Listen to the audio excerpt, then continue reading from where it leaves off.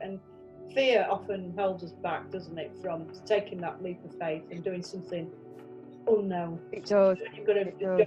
paying the bills. It's a difficult step to take. But often, it, it, you know, it takes something to, to sort of, maybe it's something health-wise, or you, you just get to this point, and everybody has a different point, you know, a different attention point. I think where they reach it, and then that's it. That's the snap, and it's like that's it. I'm gonna, go, I'm gonna go. I'm gonna go and do this and, and see what's on the other side. Um, Quite amusing as well, though, isn't it? When we get that spirit, we mentioned it uh, uh, last time. I think it's like, right, we're on, we're off, we're off, off we go. it's exciting.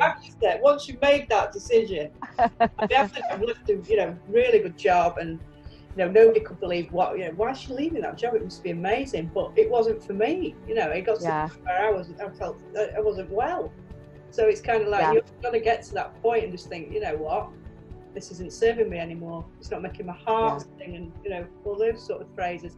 But yeah, it is, isn't it?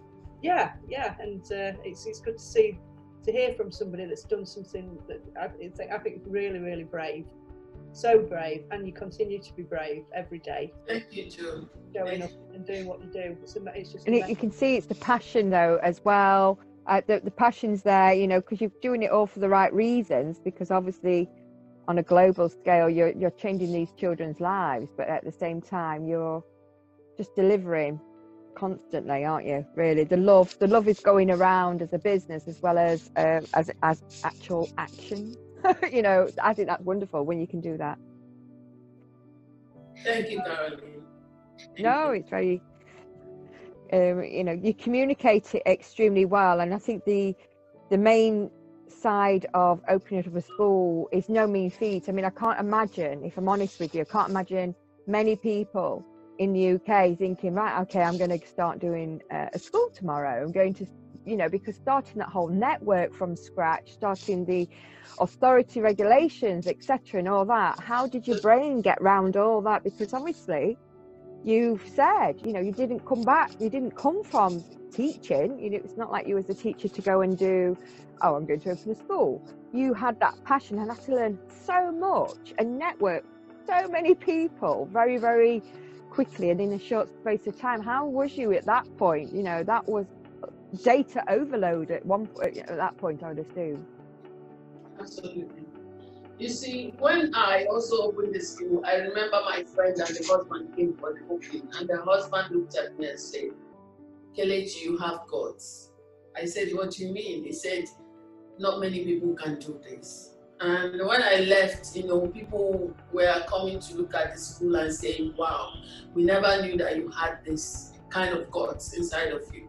But I didn't, it, I don't know, but it just came easily to me. I don't know, it was a no brainer for me to do that because um, education continues to be a vehicle for social change. First and foremost, that's what education is. It's for social, change. And social enterprise always comes from an altruistic place. It always comes from a selfless place. It's always it always comes from need and going about how do I even now I can assure you I don't know I don't have all the answers. I don't even know uh, what's going to happen tomorrow. But I just go with faith and I say to myself, just keep going. Follow the light, you know, the light, just follow the light, follow the signs on your path. And that's what I do. And that's why I am so grateful to Jo. It's not because she's here. She has uh, provided me with a lot of support, and Catherine and uh, Sam Collins, or even the Aspire for Equality, has helped me a lot. You know, the women I've met there, they are incredible. So I don't have all the answers, but when you go for uh, education, it's the only vehicle with which you can change the society. And what I told myself when I came in here is it's going to be very very minimal fees, but very very high quality. Jo, you see our children. You Yeah. see how they are, how good they look. I don't I don't joke with they looking good and they being in good uh, environment and we taking very good care of them.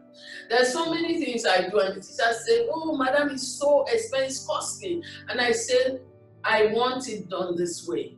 I'm not going to Yeah. look at cost and not take care of these children.